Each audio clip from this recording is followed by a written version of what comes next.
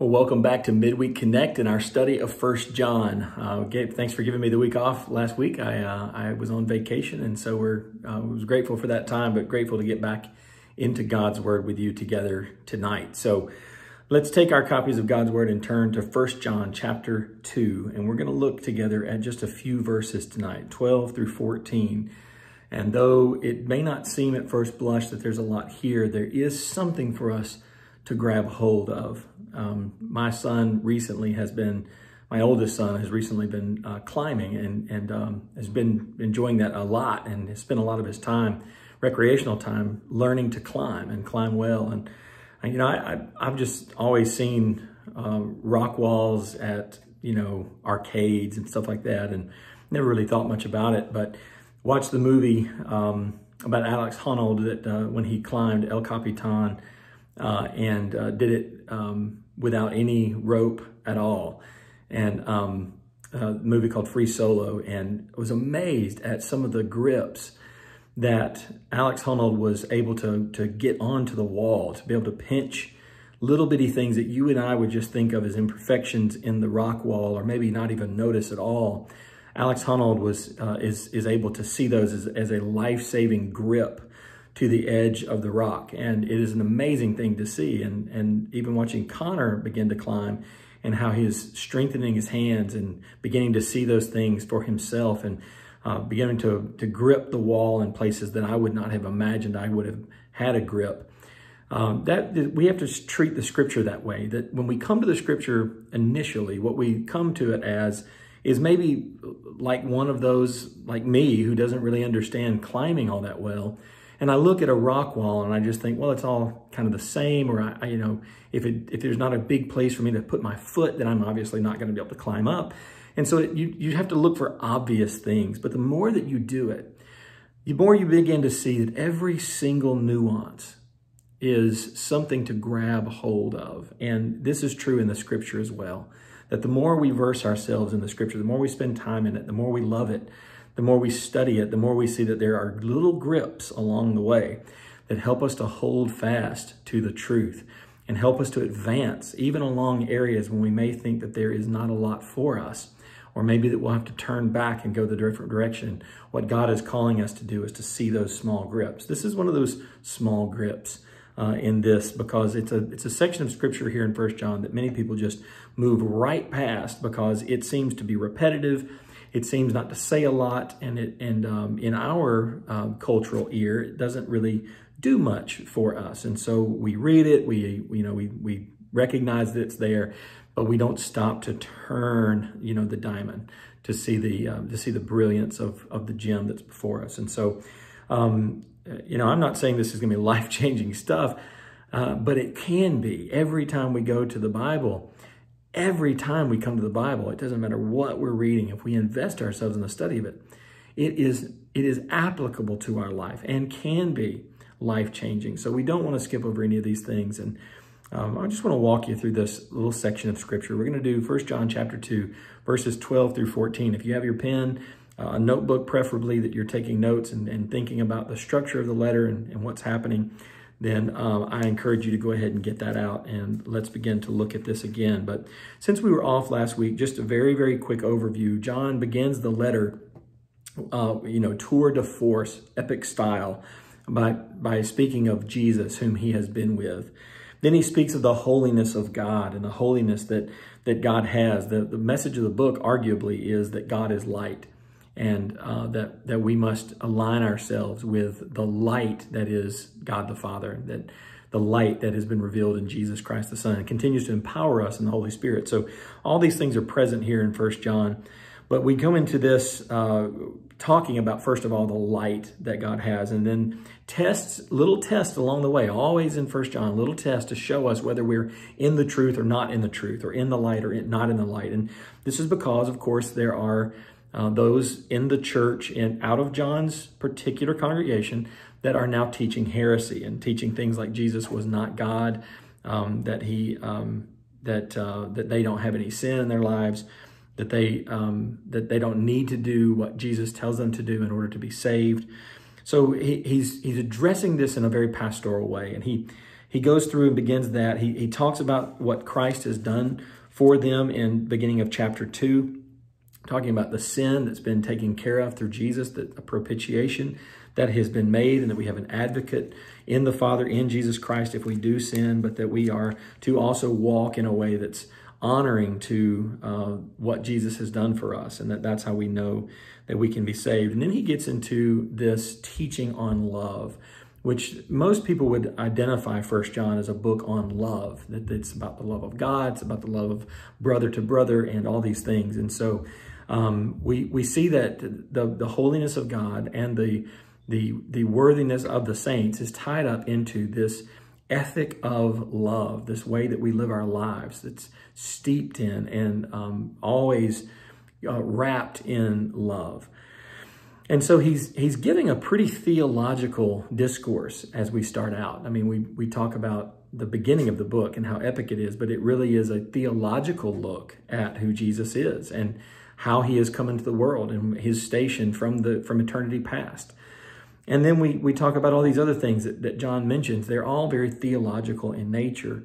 So just like any, any pastor who wants to address his people, most of the time it's good for pastors to stop and say, well, what does the Bible say?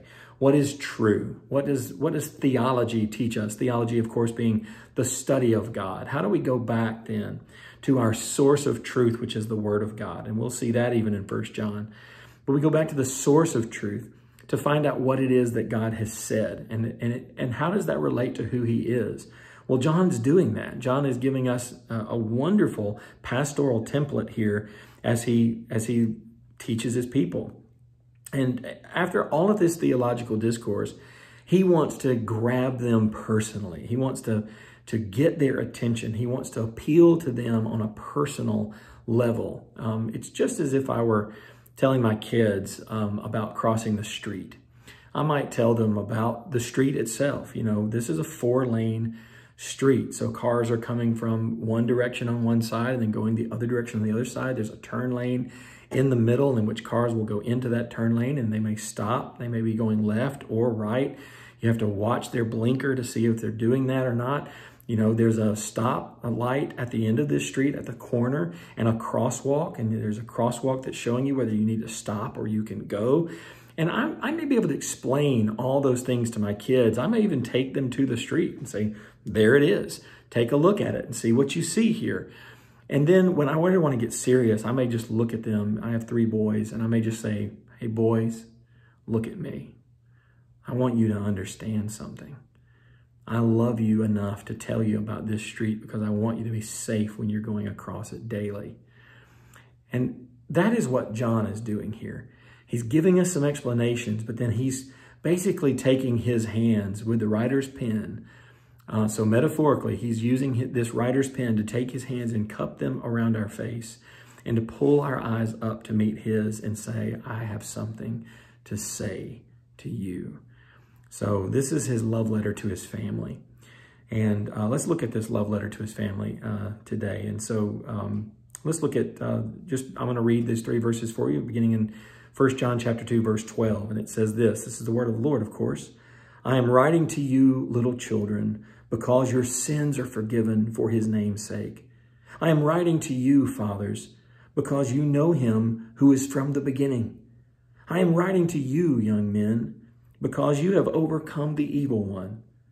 I write to you, children, because you know the Father. I write to you, fathers, because you know him who is from the beginning. I write to you, young men, because you are strong, and the word of God abides in you, and you have overcome the evil one. Well, this is the word of the Lord. Well, so this is John's love letter to his family. This is where he really pauses to get their attention. So as we have done in the weeks past, let's just look at the, the structure of this set of verses and we'll talk a little bit about the implications that they bring to our lives at the end. But if you'll just notice here, um, that you have two triads together. Um, one is in verses 12 and 13, uh, and then the other one is at the end of 13 and verse 14. So they, verse 13 kind of splits these things up in an odd way. Um, usually you don't see verses sharing uh, like that too often, but here we do have it that way. Um, don't think about the verse delineations as much as you think about the grammatical delineation. So the verse, the verses then that are put in there, sometimes they are wonderful descriptions of how you break up a text. And other times they're not as helpful, that they may not break up the text exactly the way the grammar does. And so this is one of those instances where the, the, enumerating, the enumerating of verses, which is not something that's inspired, um, that's uh, something that came along later on to help us to understand where things are and to get around in our Bibles quickly. It's a very helpful system, but um, not something, certainly not something that we would hold to as inspiration. And this is one of those things where the verses just aren't helpful in breaking the text up. And so take a look at the text together and you'll see that there's three, there's two triads here where he says, I am writing. And he says that three times and then he repeats the process. So it's not that he says, I am writing six times and builds all the way through. He says, I am writing three times and then he switches it, the tense a little bit and then uh, writes, I'm writing again um, in a very a slightly different tense the second time around, but then three more times. So you have in verse 12 beginning, I am writing to you. In verse 13, I am writing to you. And then halfway down in verse 13, I am writing to you. And then the latter part of verse 13, 13 he says, I write to you. And then verse 14, I write to you. And then midway down verse 14, I write to you. So the first section of those, that, that first triad, I am writing to you. And it's just talking about how he's doing this. And then I write, which is not necessarily a past tense, but it's also not necessarily not a past tense. So um, we're not talking about maybe two different kinds of writing. That's maybe that's been talked about in uh, among theologians and and commentators uh, over the years. And I don't read it that way. I, I, see this as being, I am writing this one thing, uh, that what I am saying to you now. And um, he's just expressing it in a way that gets people's attention. Oftentimes when you say something multiple times, obviously you're doing it for emphasis. And so he is using the, the, the tool of repetition uh, to to really emphasize strongly what he's saying here. And and again, it's it's like when you're speaking to someone. I, I used this metaphor before, but uh, the, the illustration of putting your hands on someone's face uh, to to pull their face up for your eyes to meet their eyes, and that that is a very intimate kind of speaking to one another. You very often do not have people touching you in that way, and certainly not on your face, unless you are just in a very intimate a very intimate moment, very intimate relationship. I have done this with my children.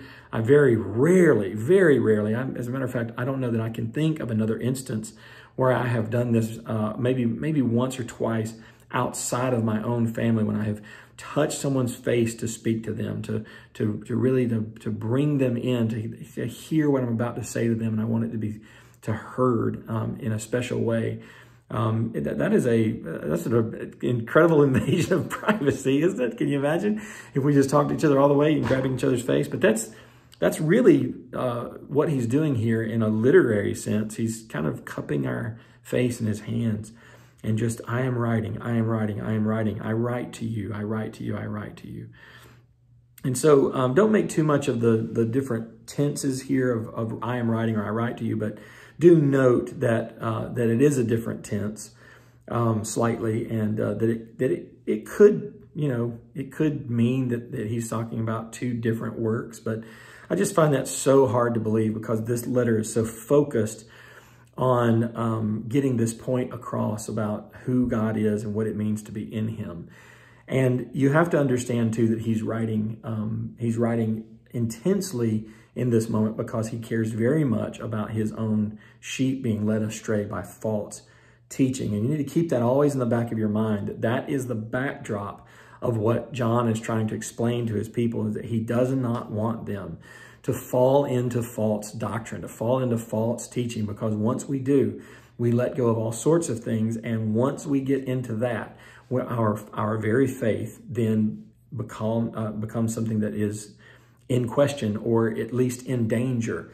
Uh, we, we could very well fall away. And we're, we're, we're in a day where it's just not that strange to see people who have served in ministry for many years saying we don't believe this anymore and we don't we don't I've deconstructed my Christian faith and walking away from what they formerly held and walking away from the relationship that they would formerly claim to have with Jesus Christ. And many of them not even believing that Jesus is a historical figure anymore, or if he is a historical figure, that he is and very much so not who he says he was, that he's not the Son of God, he's not God himself, certainly, and he never rose from the dead, and those sorts of things.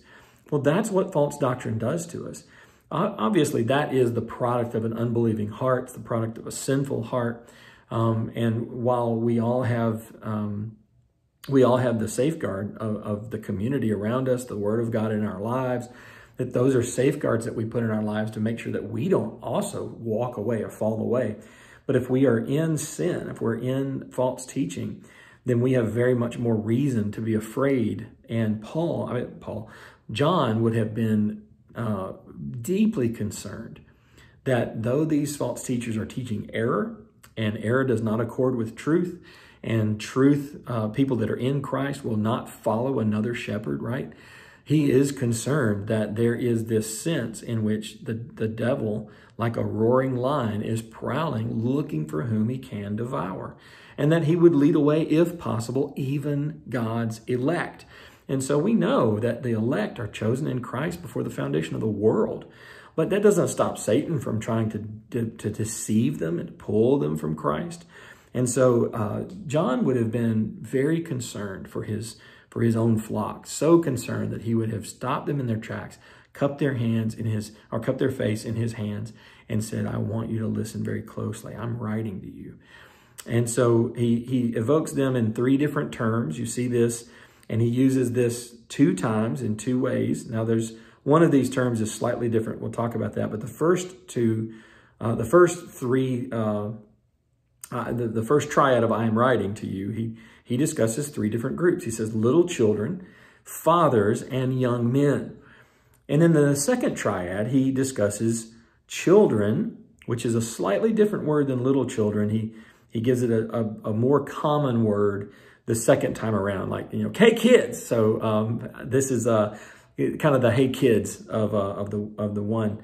The reason why it's translated in our English edition, I'm using the ESV, the reason why it's translated little children in the ESV is because it, it gives a sense of, of real intimacy there. That when John uses this particular form of the word child, it's, it's uh, exclusively in the terms of intimacy and, and very familial relationship. So it's uh, it's not just that he thinks of them as immature. It's not that. It's that he's looking at them as his own spiritual children. Remember, Paul said of Timothy, my son in the faith. And so if we're the family of God, um, all of us are children of God the Father, but in, in some special ways, we, we often have spiritual fathers and spiritual mothers in our life. And so uh, Tim, uh, John would be looking at the, his, his flock as his little children, as his the ones that he cares about and wants to uh, give his life to. And so he, he uses that very intimate term, the first in the first triad. I'm writing to you little children, my little children. And I think that's really precious that he starts that way. In the second triad, he uses a more common word for children, but it's still that, that same idea. I, I, he, he just doesn't repeat it in the sense of like my precious little children, my intimate children, the ones that I deeply love. Uh, remember, John was the beloved disciple. He's, he's, he's, he is very versed in what it means to give your life in an affectionate way to another person. And so he loved his Lord that way.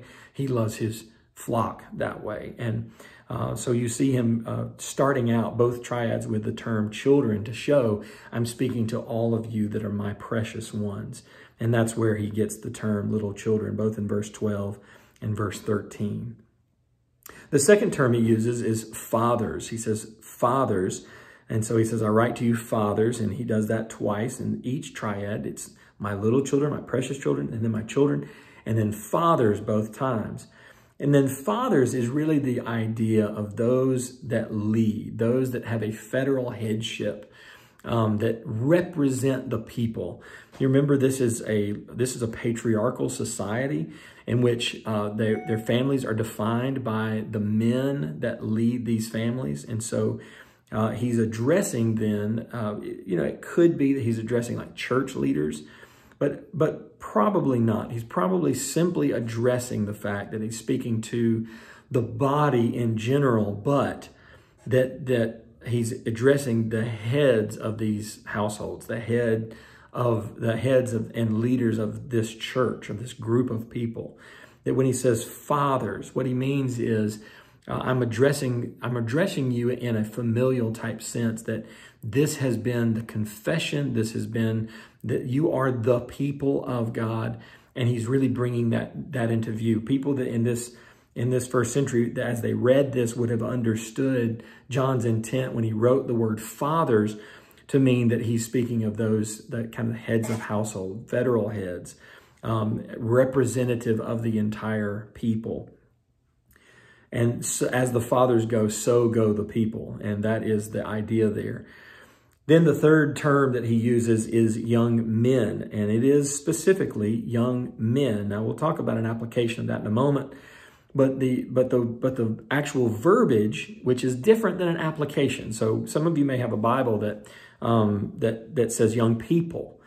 Uh, I disagree with that kind of uh, translation work. Uh, not totally. I mean, there's value in it, but what it's doing is taking the, it's, it's, a, it's a dynamic equivalent kind of a translation where you're using words that, that would translate into how we understand them more than just the literal translation of the text. And so a lot of times you'll see it used in that sort of uh, gender neutral type of thing where you take a, a word that is uh, specifically gender oriented and you make it uh, neutral. Or you would say where it says men, it would say people. Or where it says women, it would say church. Or, you know, just, you know, that sort of thing where you're just kind of making it about everybody. And that may be the application of the text. It really might. And, and we'll talk about that in here in a moment. But, but, the, but the word itself is young men. And so that's the why it's translated this way. So young men then has the connotation of young, vibrant, life-filled uh, doers. Uh, you know, think about wars that are fought. Who fights those wars? Young men do. I mean, when you look at, uh, at old footage of of the the soldiers storming the sea, uh, storming the beach at Normandy, as they come into uh, on on D-Day to to push back the German forces and they take those beaches on D-Day. Who is it that's coming off of those boats? It is young men. Who's para, who's uh, who are the paratroopers coming out of those planes? They're young men. And when you see, uh, oftentimes when you see great offenses uh, that are, uh, you know, great works that are done, you're, you're doing them on the backs of strong young men. That this is a, a this is talking about the vibrancy of youth. Um, that they're not they're not fathers. They don't have the appeal of of representing the entirety. They don't have the appeal of age and wisdom, but they are young, vibrant men. They're the, the ones that are in the mix and they're, they have all their whole life ahead of them. And so it's very uh, much that he's addressing the, the ones that are established, that, that have families, that are the older people, and these younger people, the ones that are in the mix now and kind of the doers now. And that's why he addresses young men. Now, I'll save my application for that for just a moment. Let me just go through and just talk about the next, uh, his theological implications for these, uh, for these triads. And I'll try to do these quickly. Um, I'm trying to keep these, uh, these lessons to uh, a little bit shorter so that you can digest them in, in a, a shorter time. But uh, he says um, at the beginning in verse 12, I'm writing to you little children because. And so we have because, because, because, and then another three becauses. This is why he's writing to us. Well, he says to the little children, to everyone that's there, because your sins are forgiven for his name's sake. Remember that this is about a redeemed people first and foremost. This is the people of God. This is Christ's people. And if we don't remember that we're, our sins are forgiven, well, then we've lost it all. Because we are those that needed a great Savior. We Our sins are forgiven, not for our own sake, but for His name's sake. And we remember back in like Ezekiel, and we look at uh, chapter 37 maybe, when we, when we talk about um, how uh, the, the name of God has been profaned in the nations, and He's going to claim the glory of his name back by using them and giving them new hearts. And You know, our sin is great. Boy, our sin is great. He reminds us at this very beginning, hey, my precious little children, you're sinners, but you've been forgiven of your sin. If we don't have a huge and deep and big theology of our sin, we will never know the depth of our forgiveness of that sin. And so it is important for us to know that God has forgiven us his uh, forgiven us of our sin. And that is a tremendous truth. It is a Mount Everest that if we if we don't understand that we've been forgiven sin uh, and how great that forgiveness is, we begin to lose a luster of what it is even to be in Christ at all. We begin to lose a luster of what it means for God to be holy. And when that happens, we begin to to form different theologies that give us the right to believe certain things about ourselves that may not be true. And so it's important for us to remember at the very beginning as he cups his hands around our face and pulls us close and whispers to us how important this is, your sins are forgiven for his name's sake. His name's sake is obviously Jesus that uh, that he's looking at the work of Christ here. He's calling us back to look at the beauty of, of this Jesus whom he loved and whom he, he saw and touched and heard and handled with his own hands. This was the, the, the Savior that loved him so well and that he loved so well. He's pointing us back to that. So little children, remember that your sins are forgiven. And then to you fathers, because you know him who is from the beginning. And again, him who is from the beginning. Who was that? Well, in the very beginning of this letter, it was Jesus that we're looking at Jesus Christ, him who was from the beginning. Now, who else is from the beginning? It's God the Father, it's God the Spirit, of course.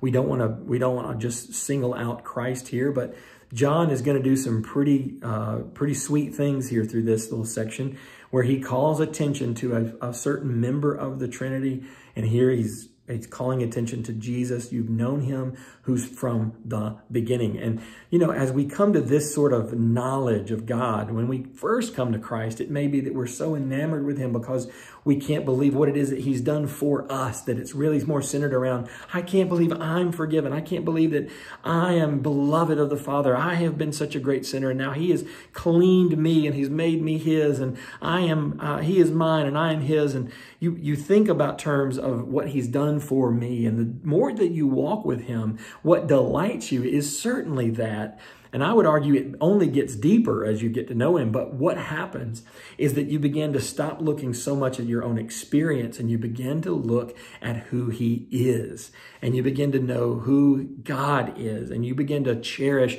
not what he has done necessarily, but who he is. And boy, the, the benefits of God are amazing, but they flow from the very character and nature of God. And so we think about this as a, as a mature faith. That's what Ephesians says we're going to, that we we have pastors given to us to equip the saints for the work of ministry until we all attain to the maturity of the faith. And that's why we want to see this sort of thing. You've known him who is from the beginning. We, we want to see a, a an eternal God in our view. We don't ever want to have a small view of God. And these fathers, the ones that represent the, the fullness of the people, they know him from the beginning.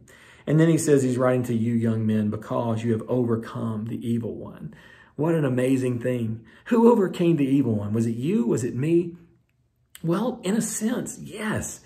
That we have victory over Satan. We have victory over the one that would have eh, if he had had his way, would have toppled God off of his very throne in heaven. And this is something that we can always take great joy in, that he has been defeated utterly, that his head has been crushed. And that is the promise of Genesis 3, that, that, she, that this, this serpent will strike the offspring's heel and the, that, that offspring will crush the head of the serpent.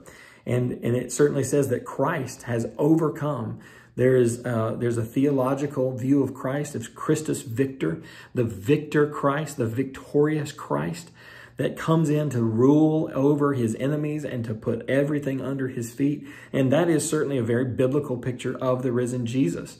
That he comes with a sword in his hand when he returns. He comes uh, wielding great power that no one can stand before him. It, it, even is that he does not enter into battle. He simply speaks, and by the word of his mouth, his enemies fall. This is who Jesus is. And he has overcome the enemy. And guess what? We're in him. John has already talked about our union with Christ in the letter, and he says, You have overcome the evil one, and how he appeals to the to the young men's vigor and strength and, and just their drive, doesn't he? You've overcome. You have won. You have uh, put your feet on the head of Satan. Uh, a, a, close friend of mine who is just, he's a better friend to me than I am to him, but he he often calls me to check on me and to just to catch up with me and share what's going on with he and his church. But he shared a picture on social media the other day of, a, of one of their church musicians who had created a rug uh, to, to stand on and to put his uh, music stand and, uh, and his equipment on this rug, as sometimes musicians do. And the rug is a, is, is a serpent. It's an asp of some kind with its mouth open, its teeth bared, ready to strike. And uh, he, he, he, he put this down to worship on. And the reason he says he put it down to worship on is because I want to trample the head of the serpent every time that I sing God's praises. In, uh, in Brian's post, he says, we ain't playing around. I love that. I think that's just beautiful imagery that we stand on the head of Satan. We are those that have overcome. Well, that's the first triad. He does it again, children, fathers, young men, and he gives basically uh, similar theological exhortations here. Why am I doing this? Why am I writing these words? Well, here's the reasons once more. Listen to me as I speak to you, my beloved ones. He's still got our, his hands on our face and he's still talking to us intimately. I write to you, children, because you know the Father. Well, before it was because your sins are forgiven for his namesake. And what's the reality of that? The reality is if our sins are forgiven, then we enter into a knowledge of the Father. And this is really more uh, telling of God the Father instead of Jesus Christ. We, we start out with Jesus and his atoning work for us. And we then come to this the, because you know the Father. And so he's he's really impressing upon them the, the triune nature of God here and how that they come to know the fullness of who he is. My little children, you know, uh, the ones that I care for, you know the Father, that, that intimacy has, has also been birthed in you, not just with Jesus the Son, who, who these false teachers are mischaracterizing, but because of God the Father. This goes way beyond who Jesus is. This is about the fullness of the triune God. He says, I write to you, Father, because you know him who is from the beginning. Again, he's saying the exact same words, but with a different sort of emphasis, right?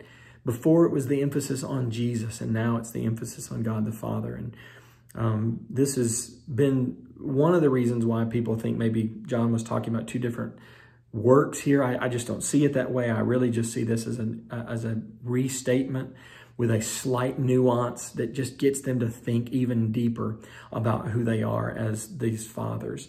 And as we represent the people, as we are the federal heads of our homes and the leaders in the church, um, then we know, we know this is that Jesus is in us and that we are the fathers and so he, because you know him who is from the beginning. This knowledge too is kind of flying in the face of what these early Gnostic um, heretics are saying that this um, uh, Gnosticism is kind of in its infancy here. It's not fully developed, but it was that idea that they could be holy on the inside without being holy on the outside. And Jesus had a lot to say about that, right? And um, so that if you're not holy on the outside, you can't be holy on the inside. And even if you are holy on the outside, it may be that you're, you're a tomb on the inside. You're just whitewashed. And so um, this idea of, of being duality, a duality in our spirit and, and flesh is something that, that John rejects and says is outside the pale of Christian doctrine. And so even as he's talking about knowing him from the beginning, this knowledge of God is really central to what it means to then live these things out and to bring them into the flesh and into the, the natural world because all those things matter. Uh, and then he says, I write to you young men because, and he elaborates on what it means to overcome the evil one. And he appeals to their own sense of strength. And look what he says, because you are strong. And he talks about their strength, their vitality. Uh, I, you know, I'm, I'm still a young man at 41 years of age. But uh, the, the older I get, the, the more that years pass on, the more that I can see that it's going to take more work for me to stay vibrant, to stay energetic. Um, we, we've got friends of ours at our house this week, um, just blessing them by keeping their children so they can get some respite. and um, we're, we're keeping their five kids. And um, they're keeping each other up at night.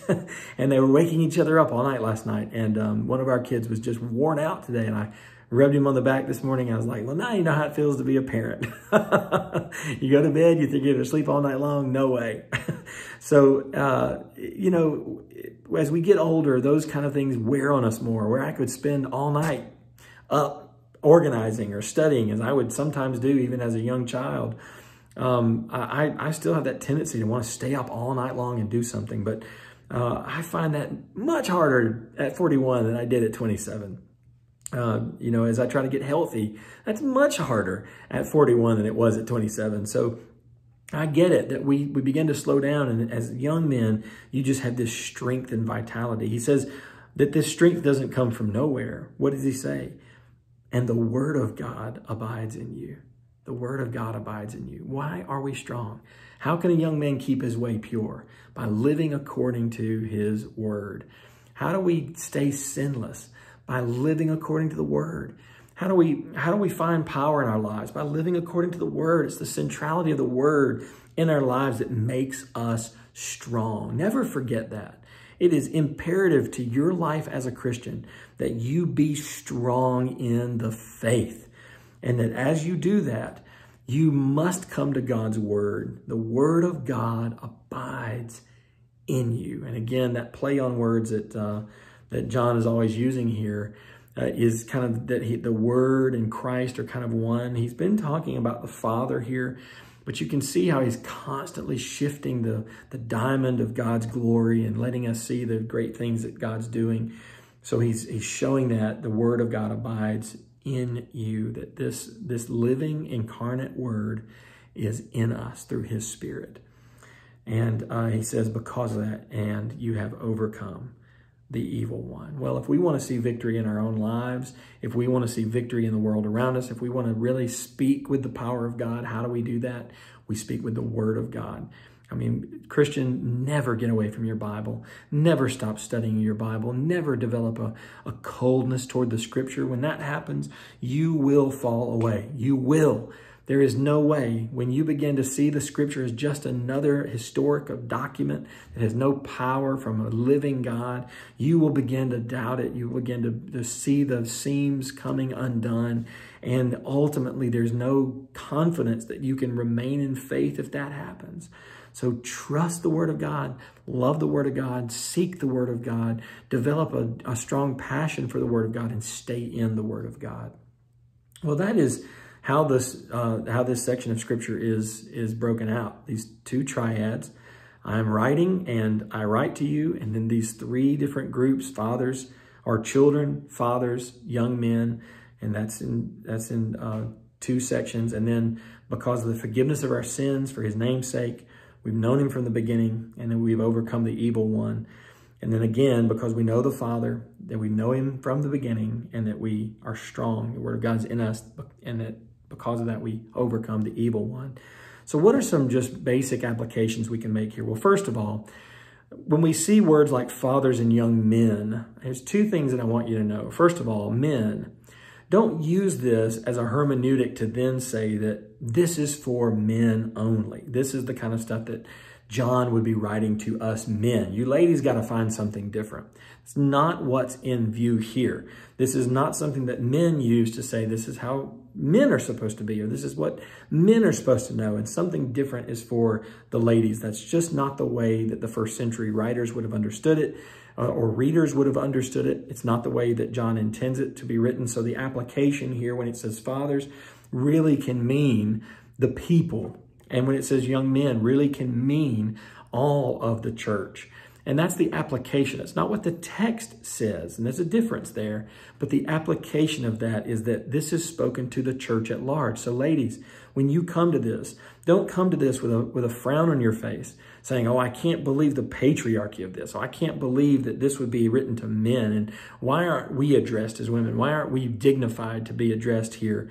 And that is not what is at view here. Take a historical uh, approach to this text and understand that as John is writing here, you are a part of the little children. You are part of the fathers and the young men that are here, that he's addressing the church. and that you are in view, you are cherished and loved, that the language of this can't be tripping you up because it doesn't accord with what you feel is right in this day and age. And so men do not hold it over women. That is not your place to do that. It's not what it's intended to do. Women do not be offended at this, but see yourselves as an integral part of it and just uh, just understand that John is taking all of us by the face, all of us, and lifting our heads into the knowledge of this. Also understand too that it's written to every age group, that all of us then find ourselves in this text. If you're old, if your hands are weak, if they're full of arthritis, if you're in a wheelchair and your and disease is beginning to overtake your body and you don't have the stamina that you used to have, do not think that you are useless to the church. Fathers, you know him who is from the beginning. Well, that is a great encouragement to those who are older, isn't it? That we, that, that though we may feel our age, we are very young when it comes to the view of eternity. If we've lived 70, 80, 90, even 110 years, we are still very young when it comes to the ancient of days. We are a blip on the eternal radar with that kind of lifespan.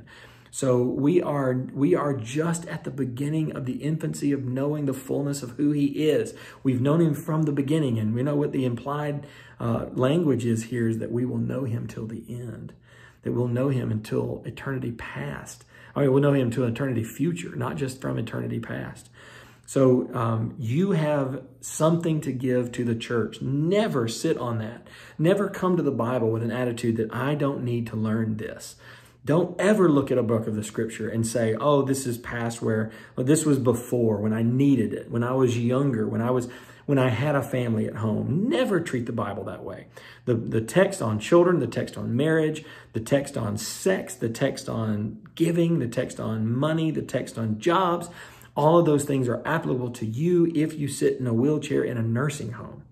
That this is for you. This is for us that we always should read because you are not alone. You are connected to the body of Christ and it's for you for these for those of you that are young don't think well i'm just going to wait and i'm going to sow my wild oats or i'm going to do what i can do now and i'll get serious about my faith later on. That never happens that way. You need to get serious about your faith now.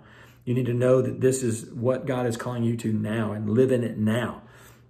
That's the only way that we can uh, that we can know that we are in him is by giving ourselves to it now. The strength that you have in your youth, do not waste it on your own passions pour it out for the cause of the gospel. Work at being holy. Work at being a, a, a person of light that trusts in and, and lives in the light of the gospel. And then uh, for uh, for all of us, understand that we live in this uh, the, the reality that we are little children of the Father.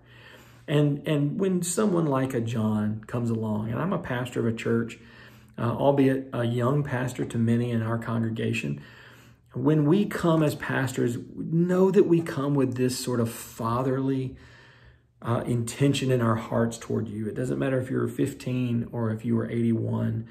When we look at you, we look at you as the sheep of Jesus Christ to which we then have been given oversight and that we want to love you well, that we want to care for you, that we want to turn your eyes away from that which would draw you away from Christ. We want to give ourselves to you in such a way that you can not only learn from us, but follow our examples. And so pray for us as we do those things. But but we love you so intensely and that, that we come, all of us, as little children.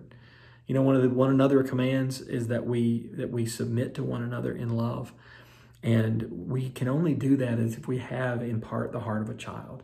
That is why I think Jesus describes little children as being the ones that can enter into the kingdom because they are trusting and they give themselves and they, they bring themselves to submit underneath the authority of those that they see over them. And we all ought to have that sort of heart.